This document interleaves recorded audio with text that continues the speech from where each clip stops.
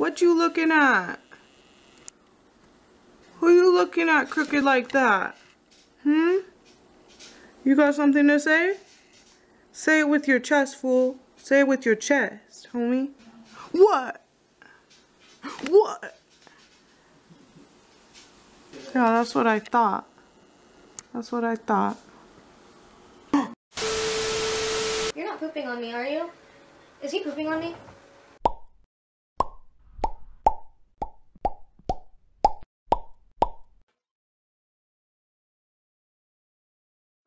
Guy's little sake, okay? Don't make the same mistakes that I did.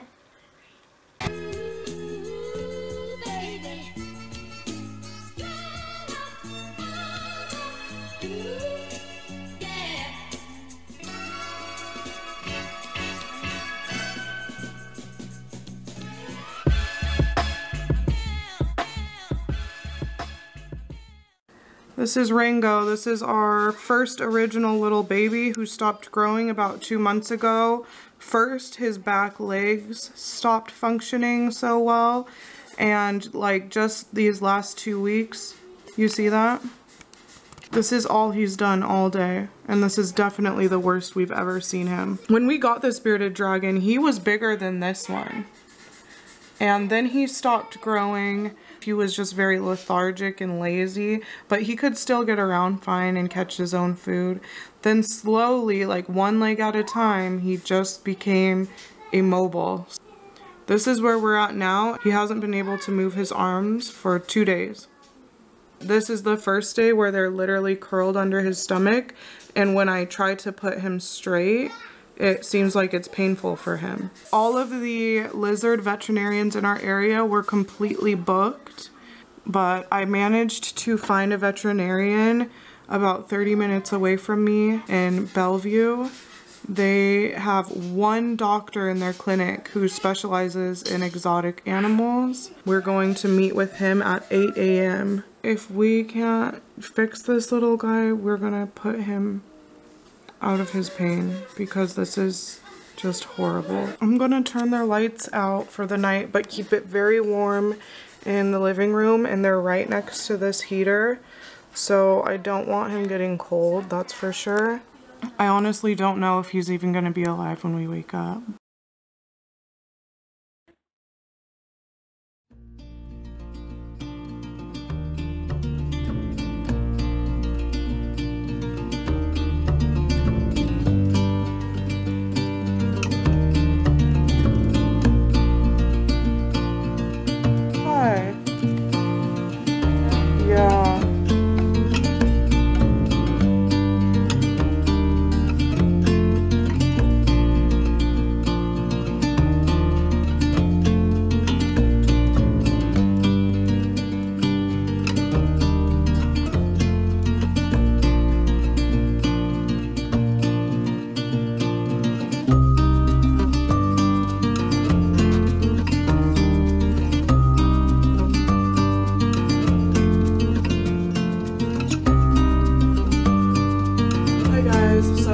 Got back home from the vet. We did not have to put Rango down. I'm so happy.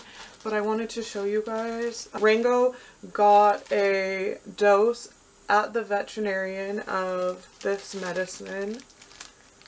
And this is a dose that he's going to take two weeks from now. The vet also gave us these beads. I blacked out my room. There's no sunlight in here. So I'm going to put these beads into the tank and if they change color, then that's a good sign. That means that this light is giving off UVB rays, which is what we need. It's just three beads. So we'll put it under their light.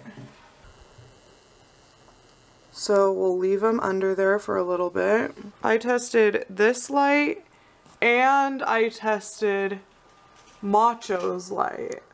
Neither one of them changed the color of these beads.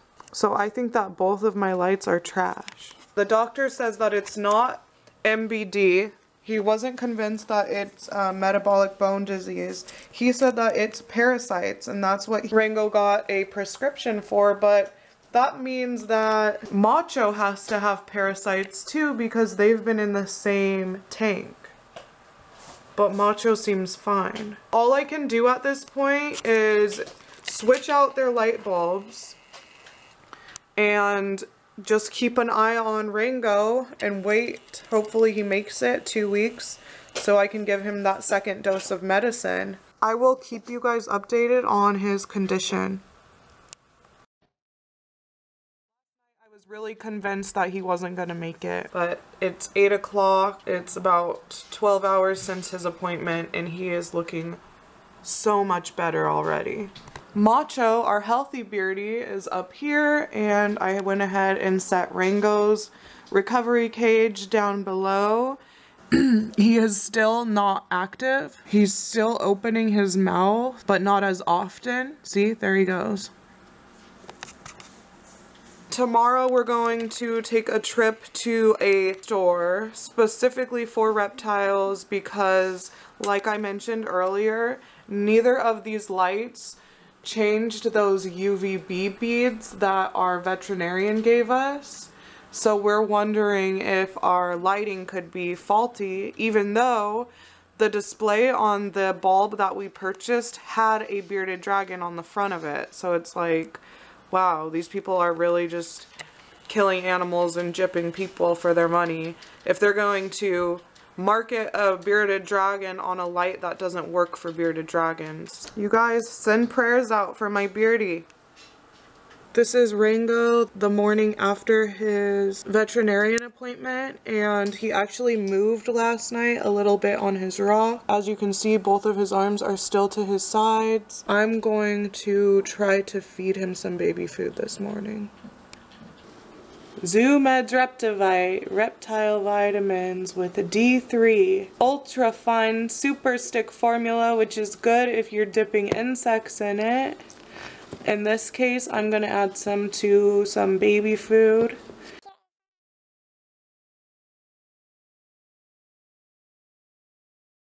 Today I'm to mix these two guys with butternut squash baby food which I've found Rango really loves. And I'm gonna sneak in some green beans, which is also a really good staple vegetable for a bearded dragon.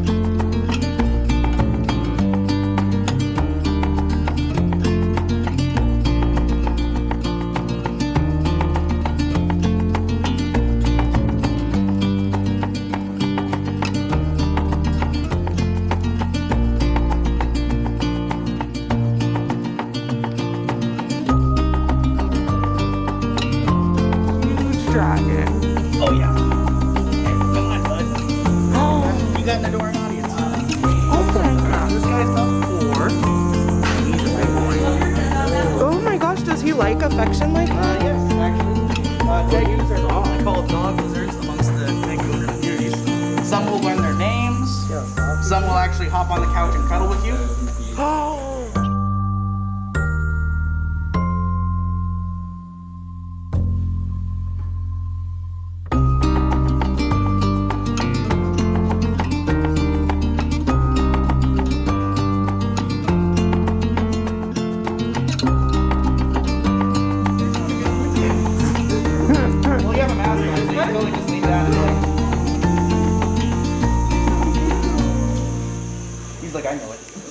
Just got back from the reptile store and we came home and realized that Rango is not where we left him. So that means that he is moving around on his own.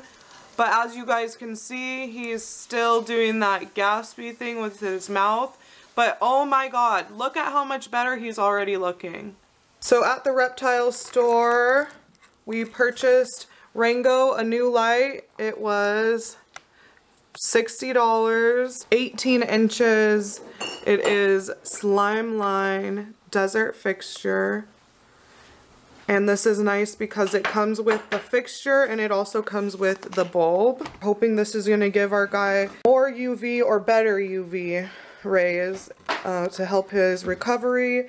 And then we got some hornworms here. These are like crack for dragons. These are not like an everyday type of worm or then they'll stop eating their normal food. This is just like on rare occasions. And then of course we got them their crickets, which we're literally buying every two to three days now.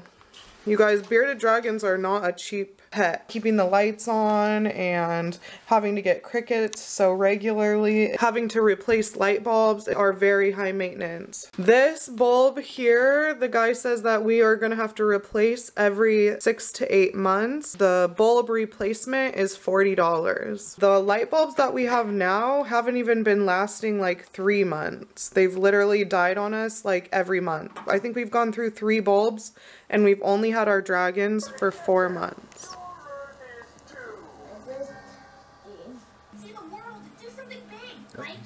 save our it. town from galactic threats. There he goes. Galactic threats are gonna attack this place. Shut up! Give me the stones or die!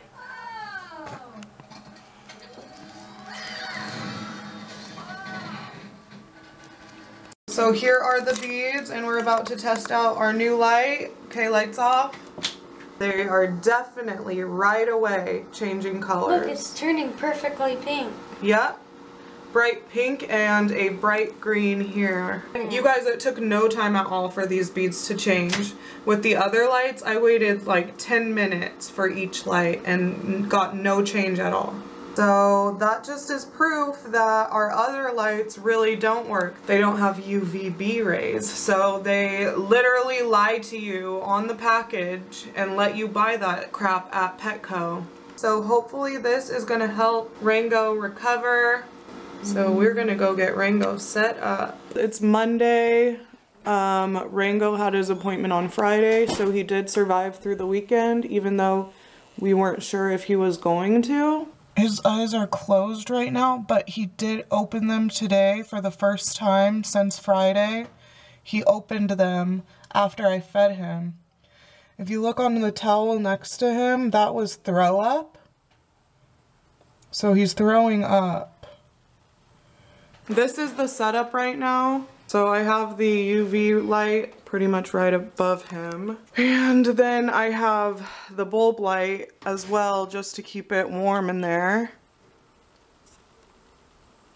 And then my boyfriend thought it would be a good idea to split the cage with a piece of plexiglass.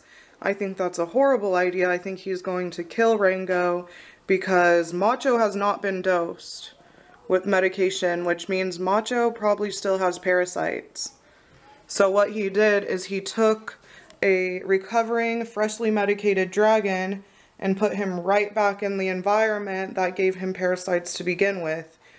When we have a recovery tank we could be using, going to call the vet and hopefully since he won't listen to me, he'll listen to the vet because Ringo should not be in the same cage for stress reasons and also cross-contamination reasons. He should not be in the same cage as Macho. But apparently they're my boyfriend's dragons and all of a sudden they're not mine anymore and I don't have a say in this guy's recovery. So I just really hope that the veterinarian will talk some sense into him because clearly he doesn't have any. Poor guy. 236, Monday, February the 8th. Rango's passed away about 10 minutes after I got done feeding him, and I think that he actually choked on his vomit and died. But I'm happy that he's out of his pain. But you can see, like, he had throw up on his mouth. And I think that he would have done better if we didn't put him back in that cage.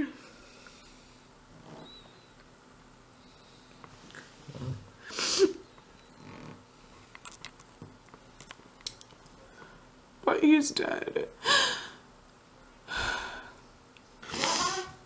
Rango's dead. Yes? He died, yeah. Poor thing.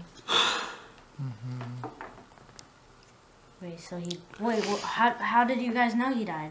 Because he wasn't moving and he wasn't breathing. Wait, so And he's you, really stiff. did you guys move him out? Wait, how did you guys know? So, did you guys see him in the cage not moving? Yeah. He probably did just He he choked on his choke on his vomit. The doctor told me to keep feeding him, so Now we need the next lizard. Now we only have one lizard. Now we need to bury this guy. Now we only need no one lizard in the in the other one. in heaven. he is up in heaven and he's probably saying, Thank you for trying to take care of me. Wait, did you catch it on video he, uh, when he wasn't breathing in his cage? No. I the last thing I recorded is him with a full tummy. I thought and he was opening his eyes. I thought he was doing better. Can you guys give uh, uh, uh, Rango CPR? Just It's too late. He's mouth. already dead. Poor guy. He must Can we cook him? Just kidding. Can we cook you? no. We had him for four months. Mm-hmm. And the whole time we had him, we didn't have lights that were giving him any UV rays. Poor guy, yeah. And That's a lesson learned, man. Okay, first off, I never expected that I'd even need to record an outro for this video because I really envisioned this being nothing but a recovery video, especially after seeing the veterinarian. I brought him into the vet that day, totally sure that we were going to have to put him down in the condition he was in. Um, I mean, he was not doing well. He looked at Rango and was like, "Oh no, it's not this, it's it's this." And I was just like, "Oh, okay, okay." And he made it seem like it was a for sure thing that Rango was just going to recover and be fine. And we're like, "Really?"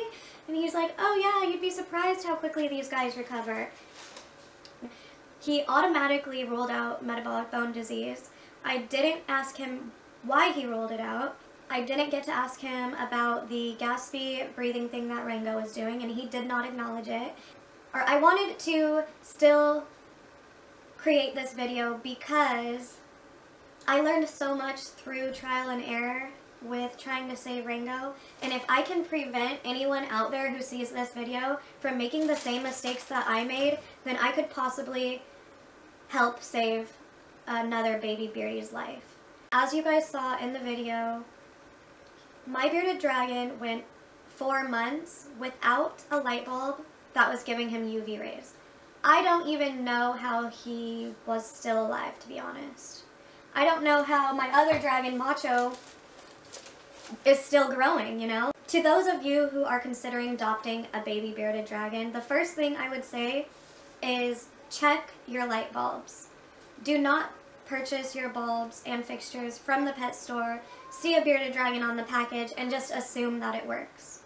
So what I'm going to do is I will link the UV beads down below that my veterinarian provided for me. These beads are a easy, cheap way of just ensuring that your lighting is doing what it needs to be doing. Next, ask questions during vet appointment. I feel like I was rushed through the appointment. I didn't really ask the questions that I should have asked. My vet was quick to rule out uh, metabolic bone disease. But why? How, how are you ruling it out so fast? I should have asked, uh, I should have asked about Rango's gaspy thing that he was doing for air. It could have been a respiratory infection or some kind of respiratory issue. How do you know it's not a respiratory issue? Um, even if it was parasites, you know, like I should have asked more about parasites. Okay, well, how are these parasites caught? Um, how are they spread? How do we kill them? What are the lifespan of these parasites? Where do they come from? I had to look up after the diagnosis. Oh, parasites, they're, spread, they're spread through stool. Um, they live in the, the feces, so it's important that you clean up poop right away. These are things I just feel like my vet should have informed me on because, okay, it's parasites, but how do I prevent this from happening again type of deal. These are all questions I should have asked, and again, I didn't because I was just like, oh, okay, all right, you're the professional, okay. Ask questions, people. Probably the biggest way that I failed Rango was waiting so long to take him into the veterinarian. The moment we saw something was wrong with him, we should have tried to get a vet involved. Now, the reason that I didn't get a vet involved um, until way too late was because I had honestly assumed that a veterinarian bill for an exotic pet would be around $200, $300 because vet visits are rarely cheaper than you expect. You know, they're usually a little more expensive than you would expect. And I expected about a $200, $300 bill for this little lizard that I paid $60 for. What I learned after doing research is that a stool sample ranges from about 13 to $25. What I could have done is brought in a stool sample to my veterinarian for 13 to $25, had them test the stool for parasites, and then go from there. But what I did instead is I tried to self-diagnose. And please, people, do not make the mistake that I made. Do not try to self-diagnose your bearded dragon. Take him into a professional because the resources out there on the interweb for bearded dragons is so inconsistent. The videos, the articles, the websites, they will all tell you different things. Different beardies will have different symptoms for different diseases and there's a lot of contributing factors out there that can set off the natural balance of your bearded dragon. Now this leads me to my next piece of advice would be to never introduce your bearded dragon to another outside bearded dragon without getting them tested, the natural tolerance that bearded dragons are born with for parasites, that natural tolerance can easily be knocked off balance by environmental changes, stress causing things. Macho, do you want to be in this? Do you want to be in this video? Come here.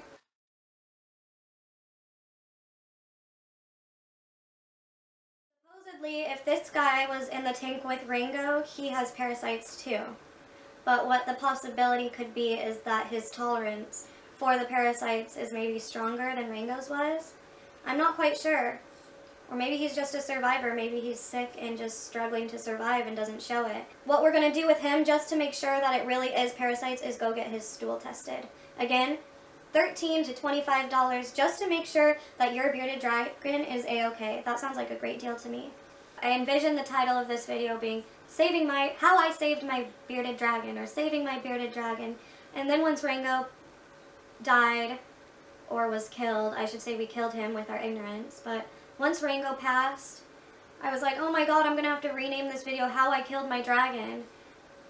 But after thinking about it I decided to go ahead post this video and just hopefully use it as a learning tool for anyone else out there who's considering adopting a baby bearded dragon. Um, baby bearded dragons are so adorable and fun, but they are not low maintenance pets. Just to figure out what was wrong with Rango was $75. Then his medication was like, what, another $25. They need their live insects. They need their UV rays. They need their heat. Keeping their lights on will definitely affect your electricity bill. Another thing about these bearded dragons is that their food itself requires maintenance. Crickets love to die, and once they die, they release a gas that will kill any crickets um, in their area. You can buy 50 crickets and think that it's going to last you a week, but say one or two crickets in that container dies, it will end up, that gas that it releases will kill like over half of your crickets. Editing this video was really hard. I cried a couple times because we failed our bearded dragon. Our lack of knowledge is what ultimately killed him. To wrap this sad video up, although Rango's story didn't have a happy ending, I hope that I can use this video as a tool for anyone out there who's considering adopting a baby bearded dragon themselves. Learn from my mistakes. Don't make the same mistakes that I did. For this guy's little sake, okay? Don't make the same mistakes that I did. Buy those UV beads down below. If your beardy gets sick, go bring in a stool sample right away. Don't cross-contaminate. Don't cross-contaminate.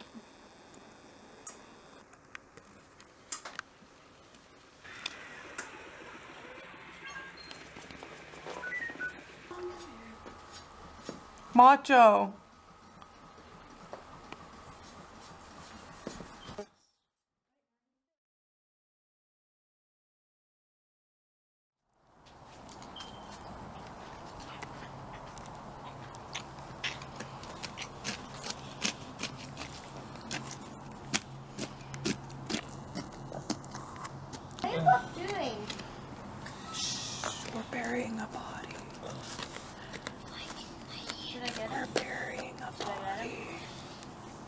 I think you should go a little deeper. Are you fucking serious? It's not even a foot down. Mom, I think it's okay. Oh, mom. No, There's dogs that come over here and sniff around. There's raccoons that come over here. But why would they dig in this specific Because they're going to smell it as he rots and the bugs eat his flesh away. They're going to say, What's that sour dead smell?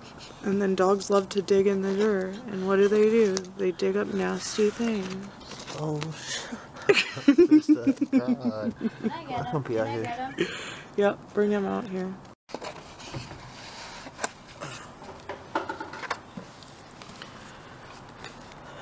Rest in peace, Rango.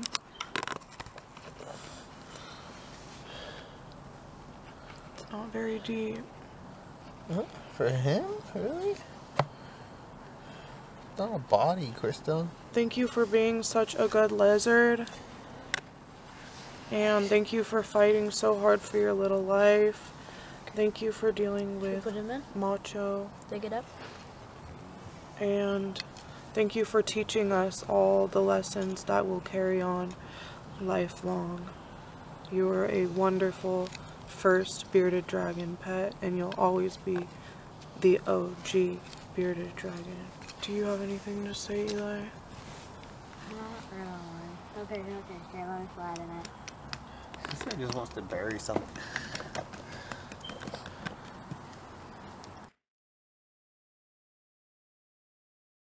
Eli, look at me. Look at me. What? You're on camera burying a body now. The cops see this. Didn't see this.